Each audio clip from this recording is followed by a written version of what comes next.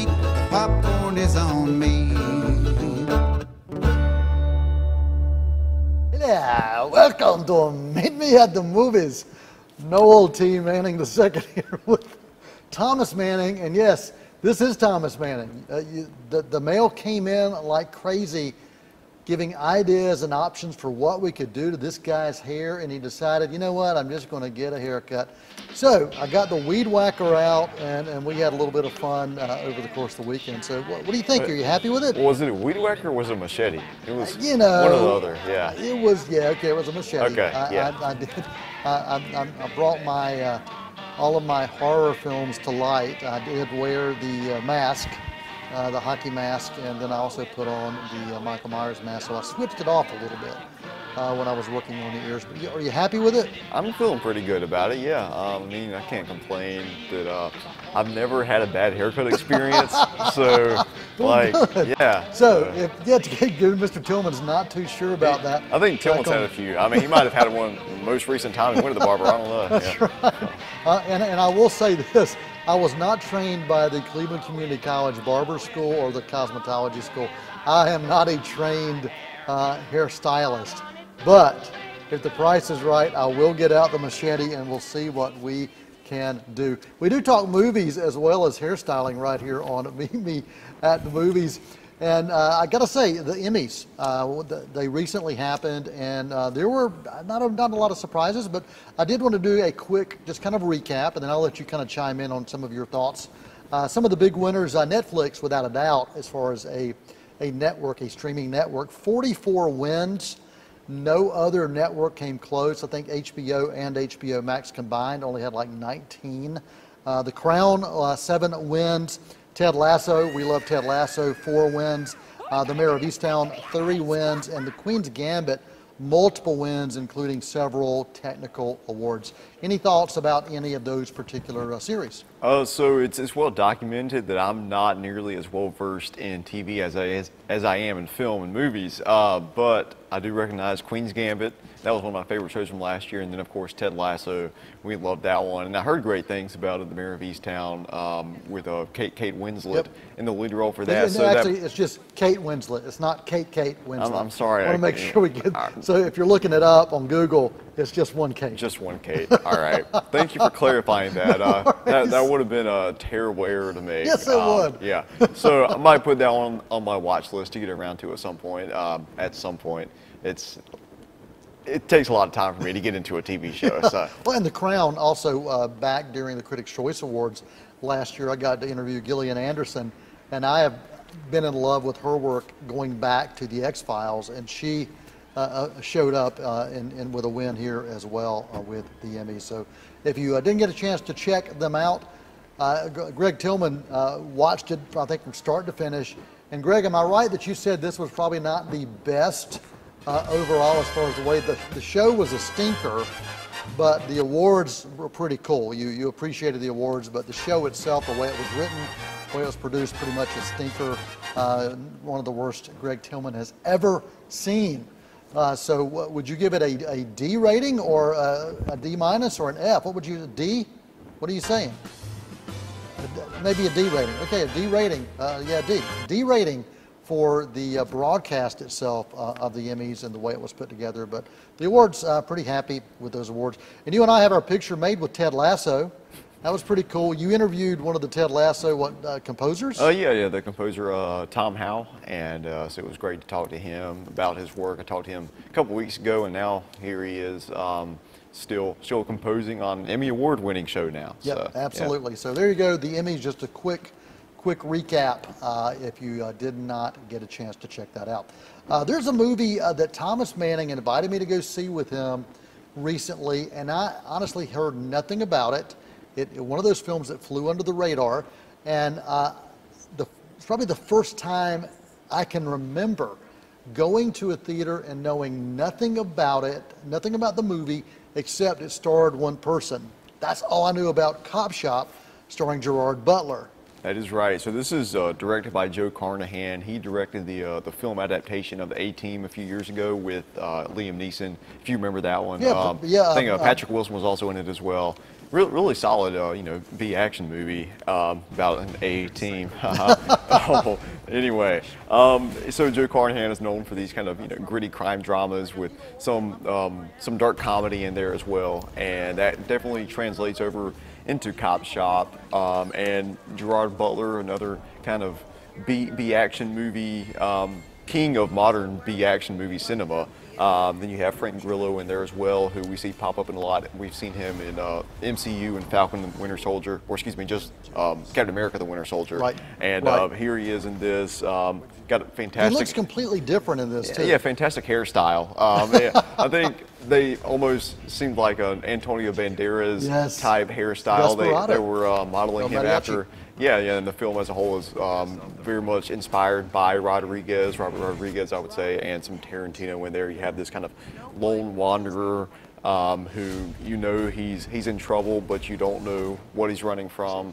Um, and then um, more and more layers are peeled back, and you see Yeah. that there's um, you know different tiers of the mystery, and uh, you know you, it starts out this just one guy stumbling about kind of through the desert, and uh, turns into in some cases almost a um, a uh, like political thriller. Yeah, Uh, yeah, yeah. Uh, the way I described the, the genre, it's it's one of these incredible hybrids. It's action, suspense, mystery, neo-western, uh, and it's got all these thrills. It's also got some very laugh out loud moments. And I mean, you and I both really, truly, we were we were laughing out loud in the theater. I thought some of the characters were incredibly memorable.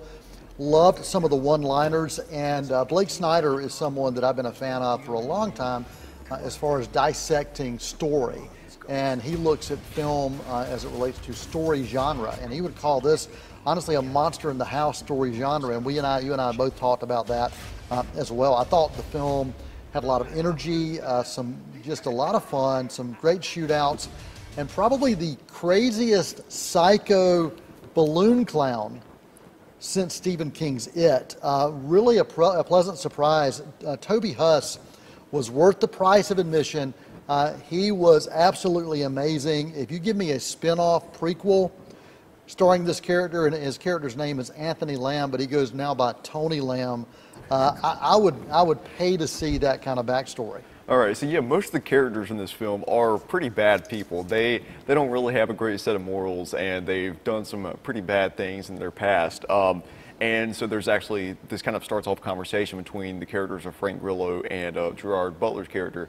And Frank's, I think Frank is like, "Hey, you're a psychopath, man."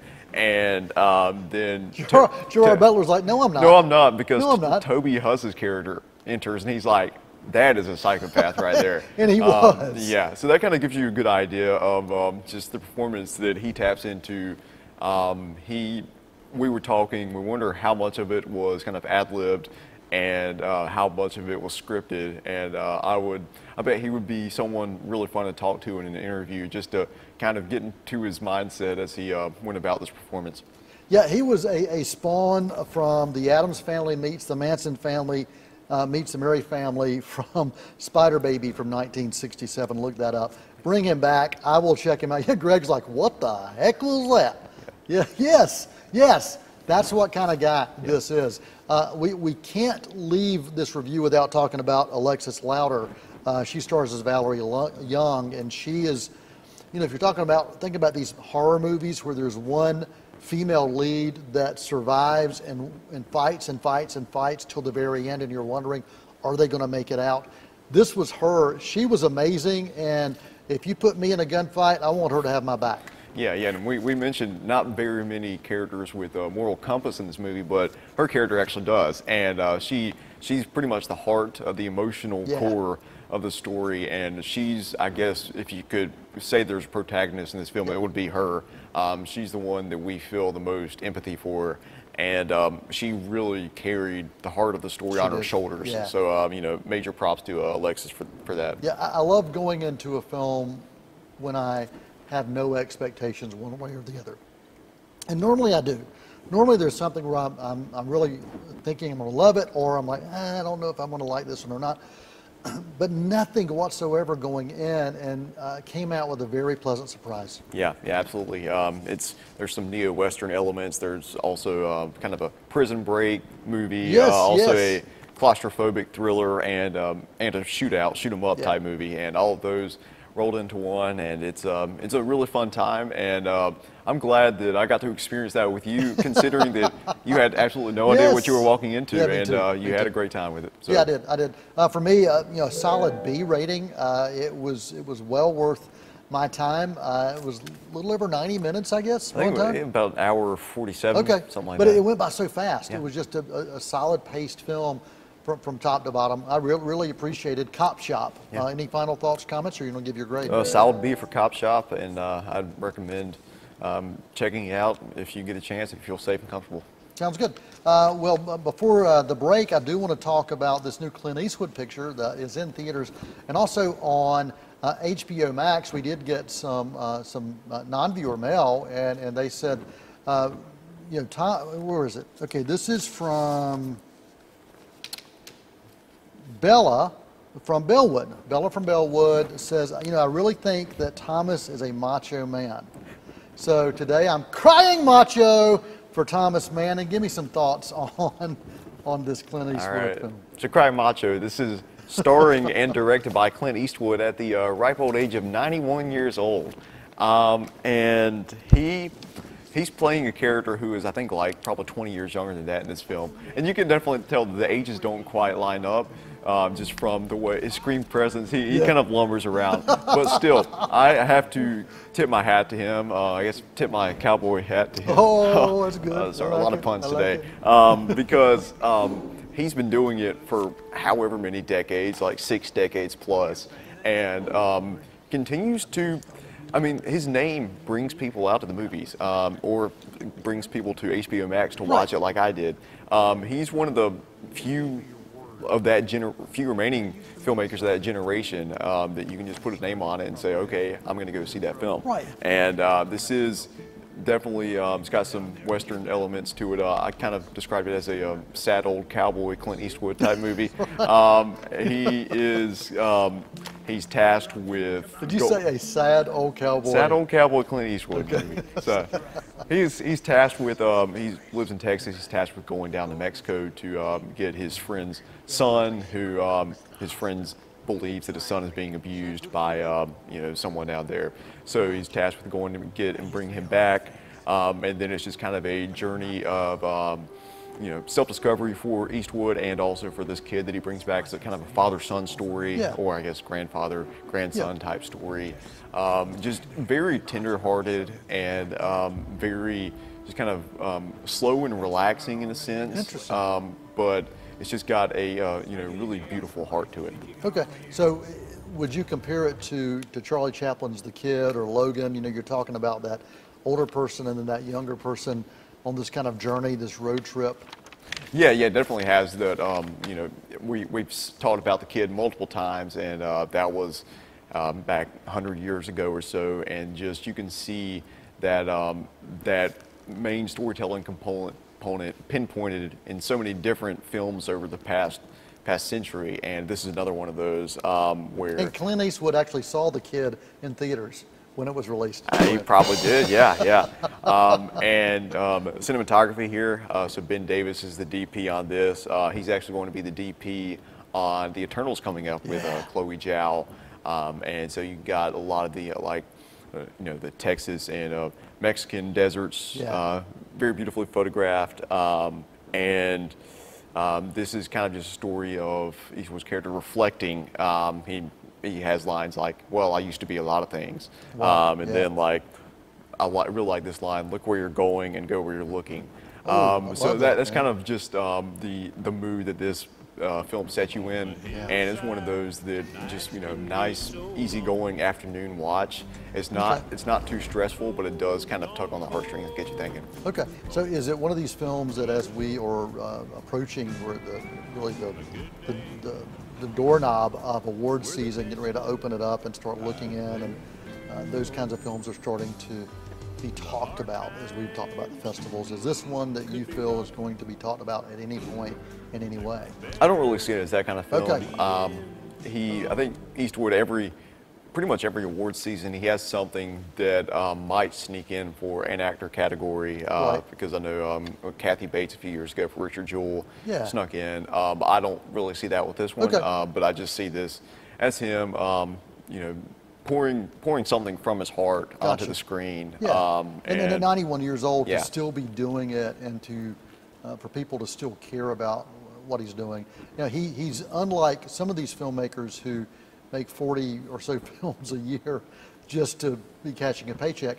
He's very deliberate in Oh, yeah. the choices he makes. Yeah, yeah, he, he knows the types of stories that he likes to tell, and um, but he finds a way to add certain ingredients to each retelling of similar stories to Gotcha. where it's not like you're watching the same movie over and over again. Like you can, you know it's an Eastwood film, Yeah. but um, it doesn't feel like he's just completely recycling everything. Gotcha. Okay, the movie is called Cry Macho, uh, and it's all about Thomas Manning being the Macho Man. What is your rating for this? Solid B for Cry Solid Macho. B. Yep. Okay.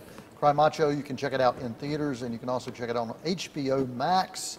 Uh, Eastwood in a uh, Western-esque kind of film. We're going to take a uh, quick uh, intermission right here on Meet Me in the Movies.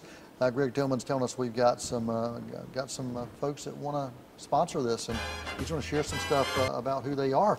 Take a break. We'll come back. We'll talk about Boris Karloff and also Citizen Kane right here on Meet Me in the Movies. Uh, Multi-Man in the Second. That's Thomas Manning. Hang around.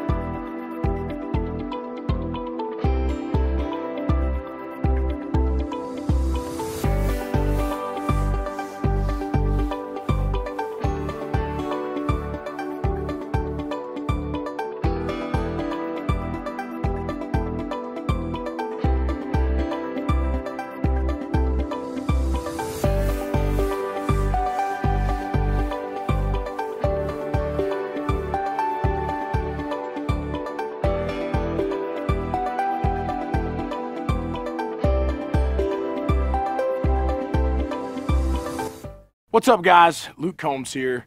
North Carolina has a major problem with litter on our roadways. Um, we all have to do our part uh, to clean up this mess. And just remember trash belongs in a can, not on our roads. Don't trash North Carolina.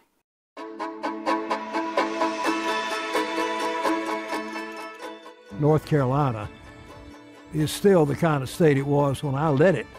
And this is the way to stay healthy, to bring the economy back, to get our children back in school. This is the way to do it, and I'm so proud of the progress we're making and proud to have gotten my shot with my good wife today. You have a spot, take your shot. Won't you come and meet me at the movies?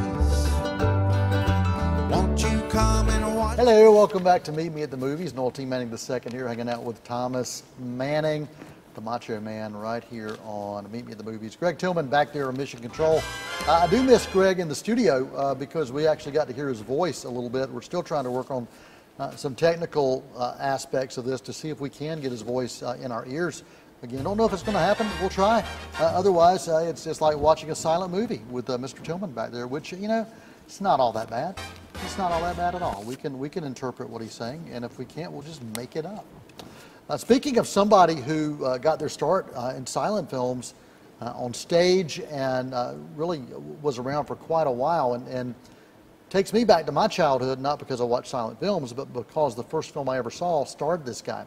Uh, back when I was a kid, there was a standalone movie theater in Eden, North Carolina, and my mom would take me to these monster matinees. Frankenstein from 1931 was the first film I ever saw on screen, and it was, you know, was decades later, but I No, it was just, listen, hey, hey, I'm talking here. My mom's not here. She can't, you know, you're not my mom. But I remember watching Frankenstein from 1931 on the big screen and just being amazed at cinema. And a big part of that was because of, of Boris Karloff. There's a new documentary uh, called Boris Karloff, The Man Behind the Monster. This comes from Shout Factory. Uh, and he was known as the Frankenstein Monster, also known as the Mummy in these Universal horror films of the 1930s. Uh, he had a career of 60 plus years, so six plus decades, you know, talking about Clint Eastwood. Uh, Boris Karloff was on stage, he was in silent films, uh, he was on TV, he did the shock theater thing in the 50s and 60s. He was also the voice of the animated Grinch, so he was known far and wide for decades. Uh, this documentary uh, doesn't just provide a biography uh, of Karloff and a historical overview of who he was in film, but it also really looks at um, his impact on culture uh, and uh, what was going on during the time that the films, especially those early films uh, during the 30s, uh, had and, and his impact on that. Uh, hour and 40 minutes long, it does spend a good amount of time, uh, uninterrupted time, looking at Frankenstein. not just the movie, but the backstory behind the making of it, and also the you know, why this film was wanting to be made uh, by Universal. Bela Lugosi, who was known as Dracula, was actually lined up to be Frankenstein, uh, the Frankenstein monster, but he chose not to do it because there wasn't enough dialogue. Uh, but Karloff, uh, he's just so distinctive in his look. Uh, he was really uh, the, the, perfect hit for this. hard to believe 90 years since that film was released, and they had actually started shooting the film uh, weeks before Karloff was signed. So he, it was two or three weeks, and then once he was signed, then he came on and, and did, did his role. Uh, the film has archive images, interviews with Karloff from, from the past, of course, interviews with film historians, Karloff's daughter, uh, filmmakers like John Landis, Guillermo del Toro, uh, Roger Corman, Joe Dante, Ron Perlman, and also Leonard Maltin. Uh, they're giving a lot of inter inter interesting information uh, about this character. Um, he really was a pioneer also of the early Screen Actors Guild. He understood that, uh, that filmmakers needed to uh, have a say, not just those who were the producers, but the actual actors. I really appreciated that. I learned a lot uh, from that as well. I will say that there was an odd structure to this documentary. Um, you didn't really get into Karloff's early backstory, his life as a kid, until 30 minutes into the film. Uh, some of the interviews, actually most of the interviews used a green screen and it was not really well done. Uh, I didn't quite understand why there was a green screen with the interviews. Uh, the editing uh, was, was off. There were editing issues throughout. The pacing wasn't quite there as well. All of those things are really distracting from something that had solid content. I mean, the content of who this guy was was pretty amazing. Uh, it had great potential. Loved the subject matter, uh, the supporting interviews. The interviews were, were solid, but just not the way they were shot. So the execution of the decisions made in pulling this together, I think is where, where this really, really failed. Um, feature-length documentary, maybe it didn't need that. Maybe it could have been a lot shorter. So I think they stretched things out, but uh, the execution was poor. So C plus rating uh, for this film. Um, disappointed in that. Boris Karloff, the man behind the monster, I had high expectations. Yeah. Um, so I do, I am wondering though about the uh, actual content, the information that is provided. Um, when you mention all the different interviewees, you have like Leonard Maltin and uh, filmmakers like um, uh, Guillermo del Toro. Yes. So it seems like you have like actors, directors, and um, critics. Right. So like, what do all those different perspectives kind of bring to the table? Do those uh, does information kind of blend together well? Yeah, I, I thought that um, the choices they made and what the uh, the interviewees were being asked and what they were saying, I thought that was all rich. And, and I thought from a fluid standpoint, it felt pretty good. But when you're, when you're watching um, a filmmaker share something about somebody in front of a green screen and it's keyed improperly, that's horrible. And it really is distracting. And that happened several times. It was, it was worse on Leonard Maltin than anybody else. And um, some of the backgrounds that were used were just, it felt without purpose.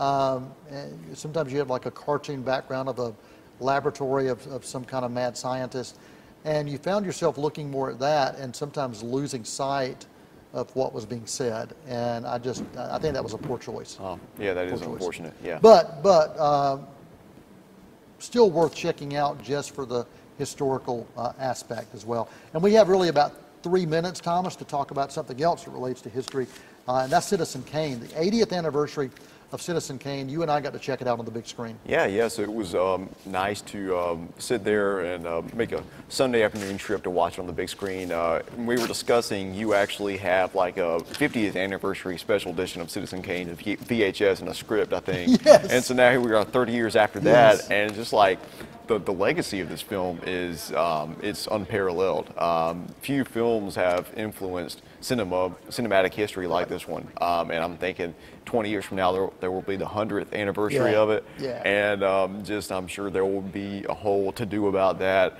Um, and there's, for good reason, it, it is the way the technical filmmaking um, progress happened in this film um, with the, the shots that Orson Welles composed.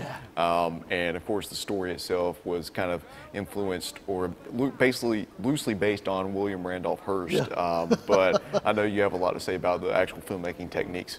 Yeah, it, it, artistically, it was amazing, uh, and, and it still holds up. And, and you see some of the uh, the shots, uh, and if you see some of the edits, uh, and you also see the structure and the way this film was put together, with starting out with this kind of newsreel, and you're you're seeing this life unfold, and you're like, well, this is kind of interesting, uh, and then it then it uh, folds into this, in a, in a way, a mystery, a reporter's mystery, trying to figure out, okay, what did the term rosebud mean? And the whole time you're trying to figure that out, and you're wondering, does it really matter? And um, and ultimately, you know, if you look deep enough, you know, yeah, it does matter uh, to that particular character. But artistically, still amazing, still holds up really well. It's not a film for everybody because it is a a slow-paced film that was shot 80 years ago, and so stylistically it's different. But just the understanding of, of why this film mattered, um, and the stars it launched, and the careers it launched,